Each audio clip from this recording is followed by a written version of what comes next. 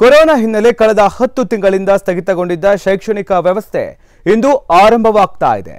ಆದರೆ ಮಕ್ಕಳಿಗಿಂತ ಹೆಚ್ಚಿನ ರೀತಿಯಲ್ಲಿ ಶಿಕ್ಷಕರಲ್ಲಿ ನಿರುತ್ಸಾಹ ಎದ್ದು ಕಾಣ್ತಾ ಇದೆ. ಹೌದು, ರಾಯಚೂರು ಜಿಲ್ಲೆಯ ಲಿಂಗಸಗೂರು ಪಟ್ಟಣದಲ್ಲಿರುವ ಸರ್ಕಾರಿ ಪದವಿ ಪೂರ್ವ ಕಾಲೇಜಿನಲ್ಲಿ ಇಂದು ವಿದ್ಯಾರ್ಥಿಗಳು ಕೆಲ ಸಿಬ್ಬಂದಿಗಳು ಬಂದು ಪ್ರಾಂಶುಪಾಲರಿಗಾಗಿ ಕಾಯುವಂತಾಗಿತ್ತು. ಶಾಲೆ ಆರಂಭಕ್ಕೂ ಅರ್ಧ ಗಂಟೆ ಮುಂಚಿತವಾಗಿ ವಿದ್ಯಾರ್ಥಿಗಳು ಶಾಲೆಗೆ ಬಂದರೂ ಕೂಡ ಶಾಲೆಯ ಬಾಗಿಲು ಮಾತ್ರ ಓಪನ್ ಆಗಿರಲಿಲ್ಲ.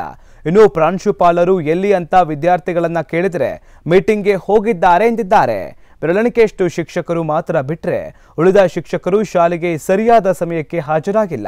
ವಿದ್ಯಾರ್ಥಿಗಳಿಗಿಂತ ಮುಂಚಿತವಾಗಿ ಬರಬೇಕಾದ ಶಿಕ್ಷಕರು, ವಿದ್ಯಾರ್ಥಿಗಳು ಬಂದರೂ ಶಿಕ್ಷಕರು ಸಮಯಕ್ಕೆ ಸರಿಯಾಗಿ ಬರದೆ ಬೇಜವಾಬ್ದಾರಿ ತೋರಿಸಿದ್ದಾರೆ.